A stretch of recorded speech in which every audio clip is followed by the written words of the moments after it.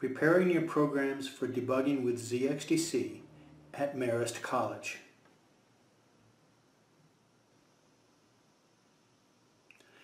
Hi, I'm Dave Cole, President of Colesoft and Chief Architect of the ZXDC Debugger for Assembler Programs. This video will show Assembler students at Marist College how to prepare their program assembly jobs to produce programs ready to debug with ZXDC. Okay, let's get started. Basically, there are four steps involved in preparing a program for execution. First, you have to write the program. Second, you have to assemble it. This basically is the process of translating the assembler language statements into machine language. The output of the assembler is an object module that simply is the hexadecimal data that the computer can directly understand and execute. Third, the object module has to be processed by a program called the binder to create a load module. This is similar to the make process used in PC systems. Fourth, you have to run the load module. Then, after your program has finished execution, you get to look at your program's output and try to puzzle out why your program screwed up so badly. Your only clues are your inputs and your outputs. What happened along the way is out of reach until ZXDC comes along. A note about the binder. Generally, the outputs of assemblers and compilers are called object modules. These contain the hexadecimal machine language translations of the original program. There is an exception to this, but generally the system cannot execute object modules directly. They are not quite yet in the proper format for loading into execution. The correct format is called a load module, or sometimes a program object, but I'll leave further discussion of program objects for another course. Load modules are executable objects that are created by combining together one or more object modules. This combining process on PCs is called make. On mainframes, it used to be called link editing. Now it's called binding. So even though your load modules will be built from the output of only one assembly, that output still needs the binder to convert it from object module format to load module format. In complex programs, it often is the case that separate parts of the program will be assembled separately. It is even possible for large programs to contain pieces written in different languages. It is the binder's job to combine all of the elements of such programs into a single executable load module. The binder is the current incarnation of an older program called the linkage editor. This is why the bind process is often called the link edit process. However, I personally have gotten into the habit of calling it the bind process. Others have not.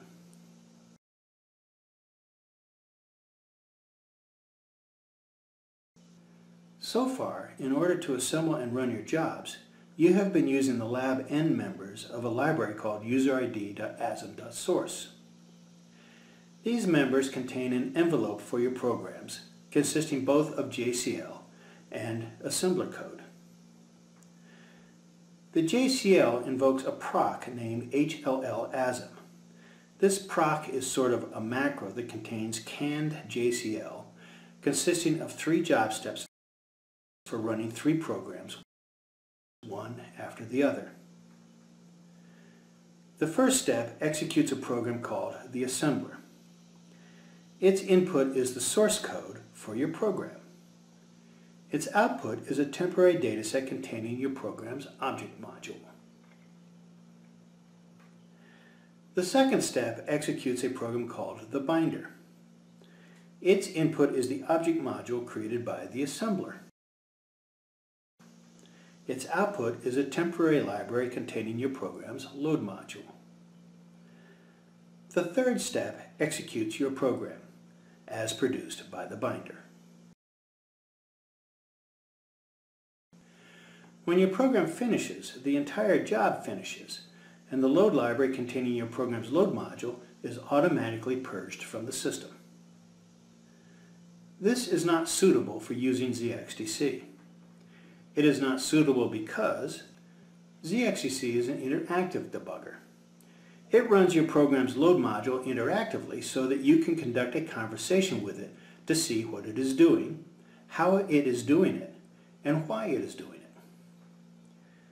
Therefore, your program's load module must hang around long enough for you to run and rerun it interactively. It must not be deleted microseconds after it is created.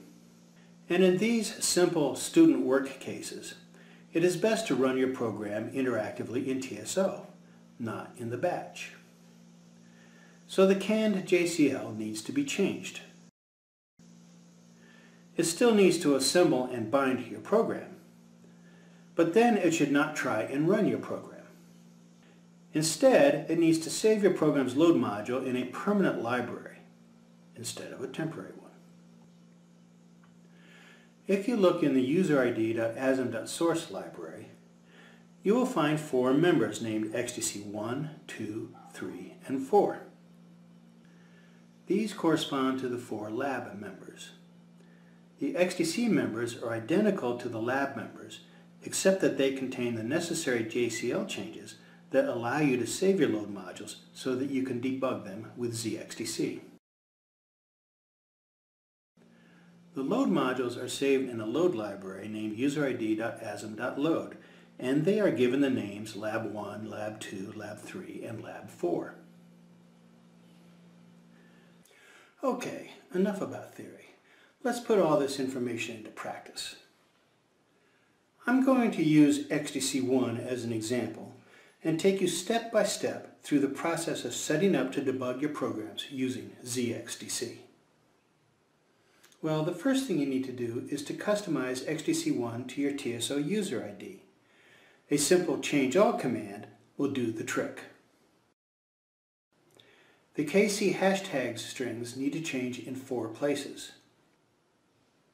Then of course you will need to add your assembler code to the file between the begin and end markers and following the data area marker.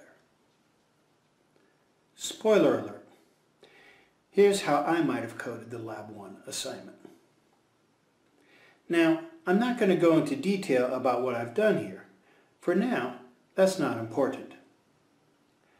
I'll just go ahead and submit this job for execution using the editor's submit command.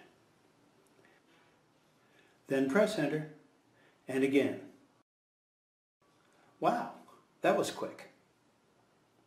So I'll press enter again. And I'll get back to the editor display. Now I'll set up to use ISPF split next command and then position the cursor to the top line and press enter to create a second ISPF window. Then I'll use the SD command to bring up IBM's SDSF program so that we can see what is happening to our job. I use the status command to look at the jobs that I own. There will always be a job labeled TSU something. This is not actually a job. It is your TSO session which to the system really isn't very much different from a job. Anyway, of the actual jobs, the one with the highest job number generally is the newest and so is probably the one we want. So I'll select it with a question mark to get a display of all the printer datasets that the job has created. This one is your assembler output listing. This one is your binder output listing. And these are called system files. They are present for all jobs and they contain standard information of various sorts. For example, the first of these contains a listing of all system log messages issued by or for your job. For us, the most interesting messages show the completion codes for the assembler and binder steps. Zeros are good. Well, there's a lot more to poke around in here, but we now already know what we need to know. Both the assembler and binder steps ran, and they both ran successfully.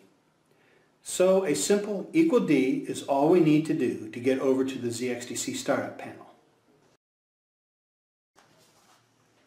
Well, there you go. That's how to set up and run your jobs in preparation for debugging with ZXDC. Let's check out our load library and make sure the Lab 1 load module is there. Start with equal 3.4 and press enter. Fill in your user ID and press enter. Now use the M command to display your load library's member list. And there it is, your Lab 1 load module. Again, a simple equal D will get you back to ZXDC's startup panel.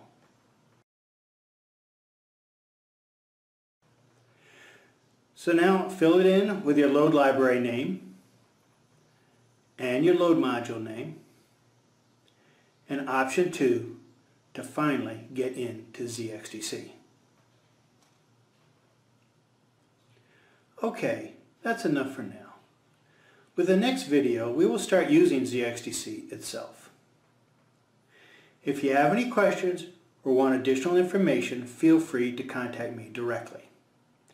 My email address is dbcole at colesoft.com and I can be reached by phone at 540-456-6518. We also have a web presence on our own site and on Facebook and on YouTube. On YouTube, we have several how-to videos about ZXDC. You just might want to take a look at one or two, or three, or four. Anyway, thanks for watching, and I hope this helps. Bye-bye.